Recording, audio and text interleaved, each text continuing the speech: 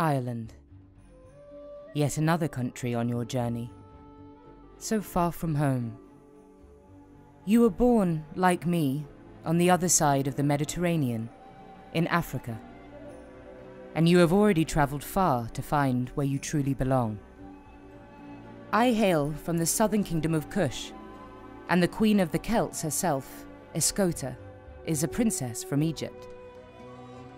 The Celts and the Egyptians have traded for centuries, so when the opportunity for the two kingdoms to marry was presented, it was hard to pass up. And now, to our joy and the distress of some living fossils, the next in line to the Celtic throne, Prince Lugaid, looks more like you and me than his father. The prince personally selected you to accompany him on his father's mission to meet their gods, the Tuatha De Danann. I'm not sure I believe they exist, but I suppose we'll find out. Whispers drift on the cool breeze as it wafts over the sea.